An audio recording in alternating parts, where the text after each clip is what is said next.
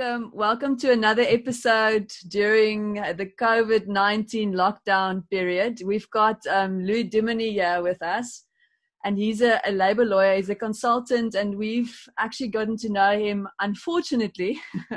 so he's one of those guys that you don't ever want to call, but sometimes you have to. And and during this time, he's really been um, of great help to me. I've I've called him a couple of times now for advice um, and today we will specifically talk about the labor law um, and how it applies and what our options are during this period.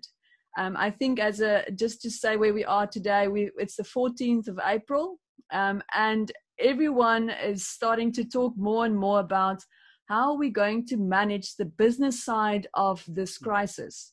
And when we start seeing that mm. nothing is coming in from the top, how do you handle the fact that you have to still pay staff salaries?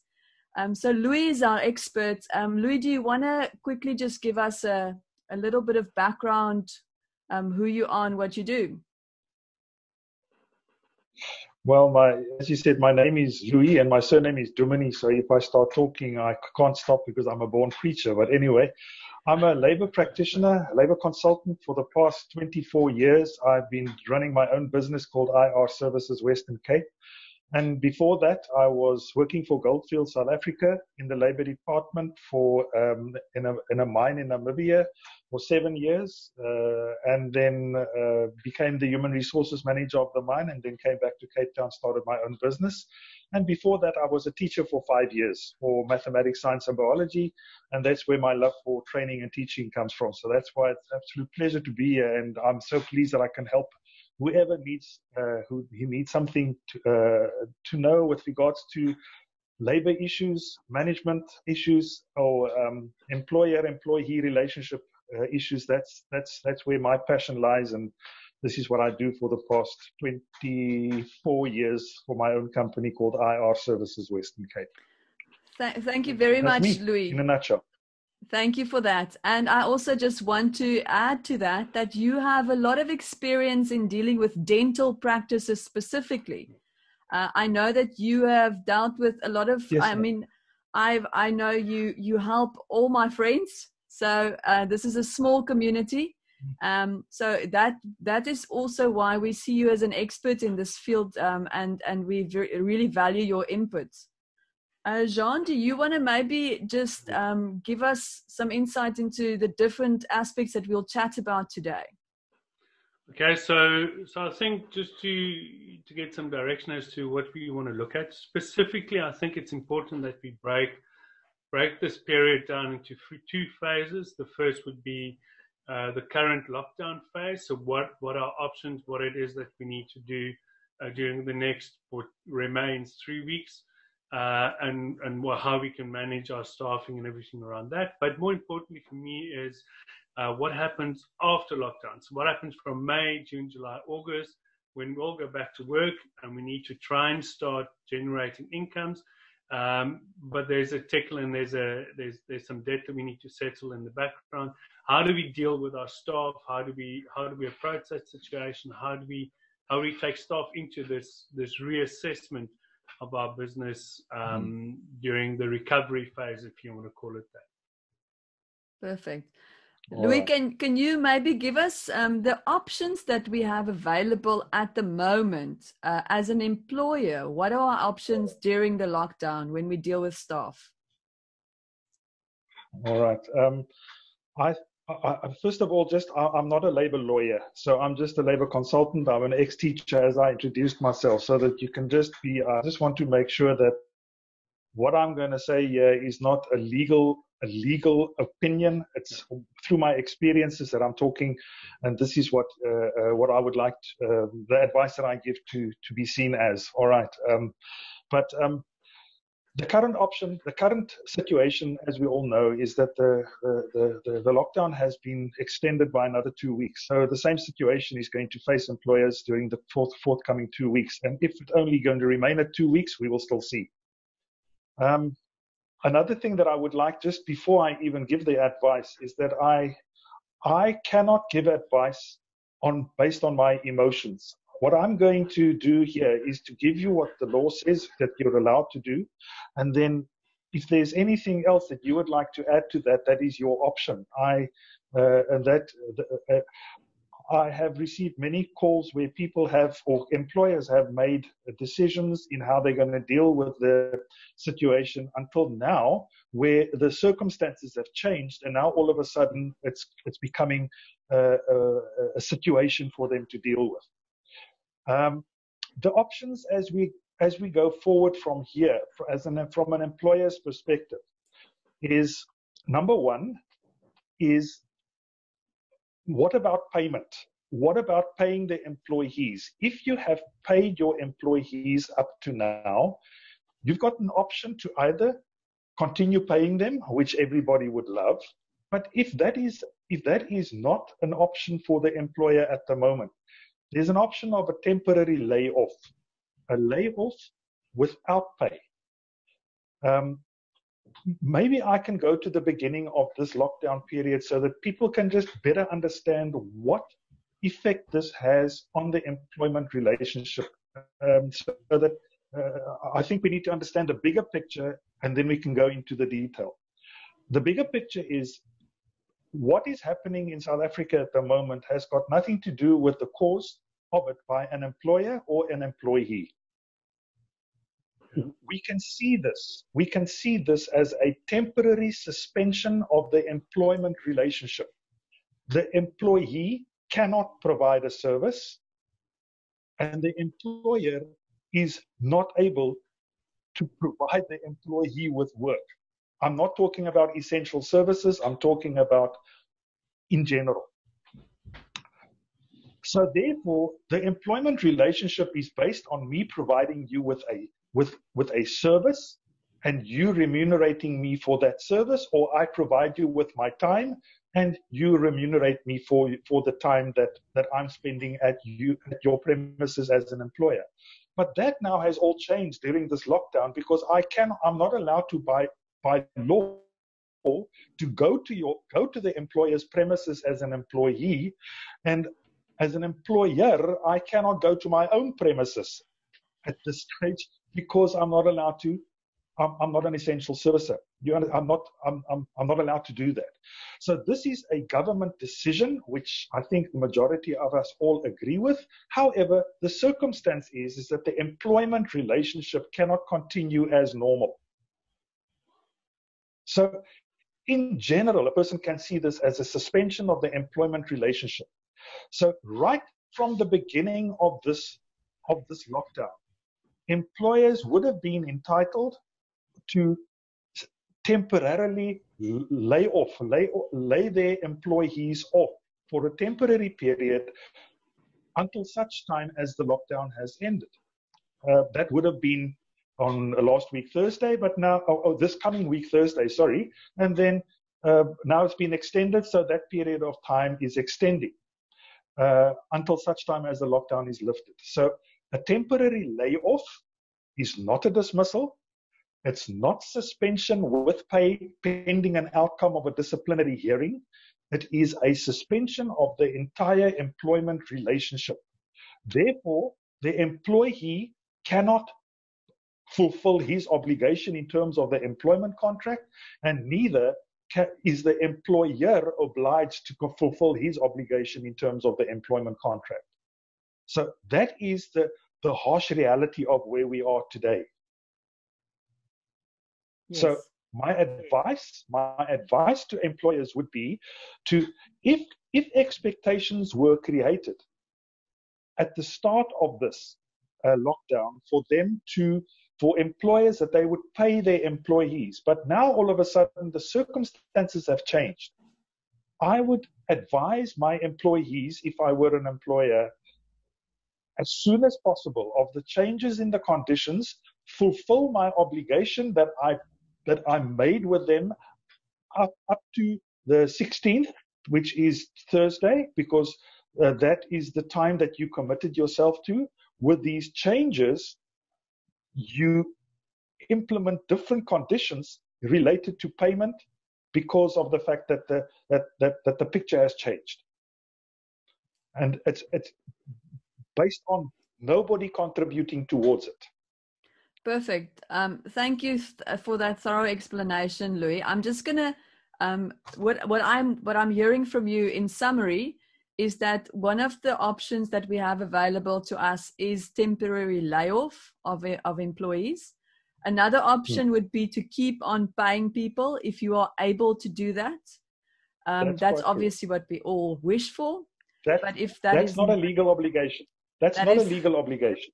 That is not a legal obligation. You're right. That, so temporary. That is a gift. Yes. Temporary layoff means that the, there's a suspension between the employee employer relationship. You are not firing anyone, you are not retrenching people. This is a temporary measure that's just applicable during the lockdown, where people will have a part of their um, salary not, well, they will not get a part of their salary. So if we think of this, the current situation, yes for instance, this is an example that I'm going to give, and I think a lot of people might be in this situation. At the hmm. beginning of the lockdown, we all thought that we will go back to work on the 17th. And we yes. all thought that we will be able to generate income at that point. Unfortunately, be, based on that, we were expecting to pay all our staff. Mm. Unfortunately, the situation changed. And based on the changes, we now have to act differently. And the, hmm. the way that we can approach this is in temporary layoff then. Uh, do I understand? That's one correctly? of the options. That's correct. Okay. That's one of the options. There is you, another option as well. Yes, what would that be? And that would be for employers, many of their employees have been working for them for quite a few years, and some of those employees may have accumulated leave the leave that they have built up over the years, which they have not taken during their time of employment. That always remains a liability for the employer. Should the employee be dismissed for any reason, that would be a financial obligation on the employer in order to pay that accumulated leave to the employee, irrespective of what reason that the employment terminates. Yes. So in order to work work off some of that liability, that can also be an option for employers. And then there's a third option as well. And that for that, uh, uh, uh any questions as far as that is concerned? I mean, uh, um, no, I think that is that is that is Jean. Can you maybe give us your yeah. understanding of that? Uh, regarding so so um, leave due. So I just want to have clarity on the leave due. So you're saying that if an an employer has employee has been um, has got leave due, that you can allocate the leave according to for this period. Or you yes, can you can. Hang on. That's, ask for the leave to be allocated during this period. Yes, that, that is accumulated leave. In other words, leave okay. before this current leave cycle started. Yes. All right. No, it's from the from the 21st of March or whatever it might be. What whatever. Before the 21st of March. Correct. I'm talking about uh, uh, uh, Jean. I'm talking about the leave that the employee commu- accumulated bef- prior to his current leave cycle. Okay, that's accumulated leave. Uh, so in other words, the year before. Previous years the previous years. He's worked for you for 15 years. He's only taken uh, 10 days leave. He's got 25, uh, 65 days leave due to him that is that, yeah. that he's now accumulating in a in a in a in a yeah. Uh, uh, uh some way. All right. Okay. All right. Okay. I get that. In yeah. the in the current leave cycle, in the current leave cycle, they, an employee accumulates leave at the rate of 1.4 uh, 1.25 days per year, all right? Yeah. Uh, depending on how long per they month, work. Yeah. But now, uh, per month, per month. Okay. Now, I'm one, many employers are asking me, can they, can they tell their employees to go on leave? Force them, in other words, to go on leave. And with regards to that, I would like to I would like to give an answer because this is something which very commonly is being asked for me at the moment.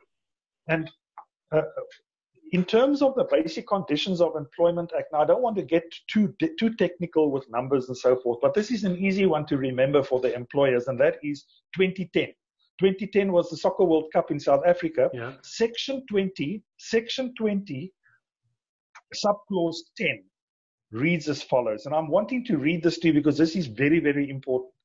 This is i'm, go, I'm going from the law now. Annual leave must be taken a in accordance with an agreement between the employer and the employee Okay. or B, if there is no agreement in terms of, sub, of, of paragraph A, that's the one that I've just mm-hmm. read now as an agreement, at a time determined by the employer in accordance with this section. So therefore, if you are really wanting to pay your employees and they have got built up leave somewhere, you can force them to take leave now and pay them that leave. Depends on your cash flow, obviously, all these type of things needs to be taken into consideration. But what I'm saying to you is there are three options. The one is temporary layoff. The other one is to use accumulated leave prior to this current leave cycle of each individual Mhm. employee. Or either you can tell them they need to take leave now, irrespective of whether they like it or not. If there's no agreement, the ob- you as an employer can send them on leave. Um, just just in practical sense, um, say you accumulate one 1.25 days per month, so it's and they've been employed for uh, six months. That's nine days. Yes. So that only takes us through to through the first two weeks of lockdown. So what happens to the other three weeks of lockdown? Then you, You just can go lay back to you've used your you, you've used your leave. Uh, I'm still going to Yes. pay, but I now choose. But you just don't have leave for the rest of the year, or you then You have- temporary layoff. Correct. Correct. Now, then another aspect, another question that just comes to mind is this agreement should have been done uh, if we were to take, say, nine days or 10 days of leave, of, of uh, guaranteed leave or given leave. Um, this should have been communicated uh, before lockdown commenced, I assume. Are you talking about the leave that should have been taken? Yeah. So say I so we decided that everybody say we go back now and we say okay well we've had two weeks now all of a sudden it's been extended now we're in a position where we don't know what to do and we say Yes. okay let me allocate your leave that you were due for the first few days of the lockdown and then uh, so we don't have an issue with leave later on in the year Mm. uh, we allocate that leave now and then we part pay or whatever the other choice you might Right. have for the next. Jean, Jean, I would not go that way. I would go the way that I told the employees prior to the lockdown what is going to happen in the first two weeks or three weeks. I would mm. keep to that promise, or else you're opening a can of worms. Okay. In other words, whatever you've laid out is what you're going to be doing in your first Yes. section, and what you discuss with your staff. That you have to you have to stick to that. And only now, since the circumstances have changed, are you allowed to actually start re-looking at what you discussed. That which you, you're quite correct. That that that which you have come to an agreement with your employees with prior to the lockdown. From that Tuesday to the Thursday when the lockdown was announced on the Tuesday and the mm-hmm. Thursday things were closed, what you said to your employees, my advice would be that you keep to those obligations because of the fact that it's basically an agreement, a tacit agreement that you reached with your employees. But now that it's changed, different circumstances should can now apply. And those circumstances are the three options that I've mentioned to you. So if you agreed with your employees to deduct their leave and to send them on leave at the beginning of the of the lockdown, prior to the lockdown starting, that is what you keep on doing until the 17th or the 16th. Okay. From the 17th, you ca- you carry on doing something different because the circumstances have changed. And then communicating that decision with your staff. Um, I would advise obviously you now need to inform them of that. Absolutely, yes. Or else there's an expectation that the circumstances related to what has happened in the first part of the lockdown is just going to continue. And you are opening another can of worms when they return to work after the lockdown. So, therefore, communicate with your employees in any ways possible. SMSs, WhatsApps. Please make sure that your employees are aware of what is going to happen in the next two weeks. So I think and that's a very very sure that, that's a very important point that you're sure, making. Sorry about that. Uh, mm. Please make make sure that you also stipulate in what you communicate with them that they that these these terms and conditions will only apply up to two weeks from today, up to the 30th of April. Not beyond that. Yeah. Because that can also change. We don't know. No, that's um, You have, yeah, your employees has to know exactly where you stand with them because they are going to keep you to that, and that is something which fairness comes in. Fairness is, yeah. is coming in. If you're wanting to pay your employees right up to whenever the president decides to, to, to have this lockdown, you're more than welcome to do that, and that would be wonderful. But okay. that's that's your choice. Okay. Um, just another another point that I want to quickly touch on, Louis. Um, something that you and I have spoken about is something called short time. Does that fall into the category of of a temporary layoff when you are, are maybe reducing working hours? Can you maybe just give us some more detail on that? Uh, during the lockdown. Yes, uh, during the short lockdown. Time, short time would be a bit difficult because unless you're an emergency worker, all right, because then like the, okay. the, retail shops and all these people. But if you're in an emergency situation and there's lesser work coming in, then you can require your employees to work shorter hours. Yes, uh, and yes. then they only get remunerated for those those shorter hours. Yes. Um, uh, but the norm is for short time you need to give them adv- advise them at least 24 hours before. That's the normal situation. Okay. All right. So uh, the normal situation, if I know that I've got lesser appointments as a dentist, I've only got, let's take the dentist, two, two emergencies tomorrow morning at 8 o'clock and at 9 o'clock. And 10 o'clock it's finished, but the employee would normally have been there, then you can tell the employee the day before about tomorrow is going to be short time because of the circumstances. There's no yes. other appointments.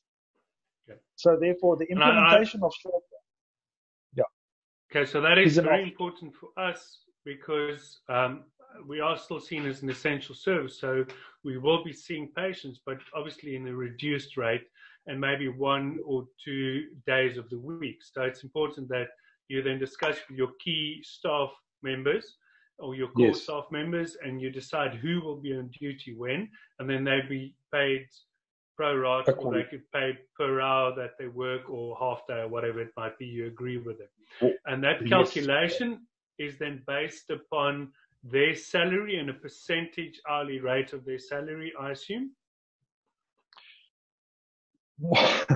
um, yes. Um, what they are required, what, what they are entitled to is be remuneration for the times that you require them to be at work. Okay. I'm not saying while they're working. I'm saying, let's say a patient does not turn up, but the but the employee turns up. Yeah then no, you need fair. to remunerate that employee for the time that the person is that the employee is there and not based on how much work is being performed during that time yes yeah. and taking so into consideration traveling time and prepping time cleaning times those things also need to uh, we have to manage that very fairly please don't don't well, I'm saying something very dangerous now, but don't pay your employees for the time that they sit in the traffic. All right. The, the fact of the matter is they get paid from the time that they start providing you or, or presenting you with themselves to provide a service to you. How they get to work is their own problem. Okay. Uh, I think what Corne is just trying to say is that is to be fair uh, and to to understand that if you're going to be working three or four hours a day that you calculate that into into your um, discussion or within the payment scheme that you're going to pay that staff member for being there. Yeah. Yes, Jean. What maybe a little little piece of advice that I can give, which works actually quite nicely, and that is if you require an employee, it works so in many other industries. If you require an employee to come and present a service to you for whatever reason, mm-hmm. rather go out of the that there's a minimum that you would pay them, irrespective of whether they're coming to work or not. Some industries say four hours, a minimum. Four hours minimum that you will get if you are called out for that day. Okay. Whether they work okay. for five minutes doesn't matter. Four hours because then you're covering all these other things that the employee may may have some cost implications to get to work and all these type of things. Yeah, that I think that feels that feels fair to say that. Yes. Yeah. yeah. If they go beyond four hours working, and then basically you pay them accordingly. Yeah. yeah. So, so just to summarize, we've spoken about temporary layoff as an option about the the the reduced working hours and how that would work. Um, and then the other two options yes. um, that we've also spoken about, I think that's it's it's quite important to um, to know that this is not for everyone. So if you if you if you have to look at this, you have to think without being too emotional. Um, I mean, yeah, you can't really you can't really just you know obviously we this is a very um, emotional thing to go through to speak to staff and to to make these these decisions but we can't be too emotional so unfortunately it would be very hard decisions to make um, can we may, maybe then also focus yes. on the the options that we have after the lockdown so what would would be the options that we could okay. look look at going forward all right let's start off uh, Corne and Jean with, with the with the ideal situation. Yeah. Okay. The ideal situation: all employees come back to work, everybody starts working, and every and the patients are rolling in. Okay. Because nobody went to the dentist during lockdown. They couldn't. All right. Unless they had an emergency. Okay. Right. That's the ideal situation. Um, after the lockdown, there may be a reduction in the amount of appointments that come in as it starts building up for the next for the next two or three weeks. I'm now beyond. I'm now in May already. Okay, so I'm I'm okay, my, yeah. my, head is now in May. Okay, so there's a reduction in the amount of people that come in, and the and the receptionist is getting a whole bunch of phone calls, and things are happening, and and your your your your your order or your your your uh, appointment books are, are, are, slowly but surely filling up, then I wouldn't I wouldn't go into short time and all these type of things and retrenchments because the staff that are there are being occupied and they are providing a service into the benefit of of the employer. Now, please please understand me right. The employer is not the dentist. The employer is the practice. The dentist is only hmm. the captain of the ship and not the whole the whole practice.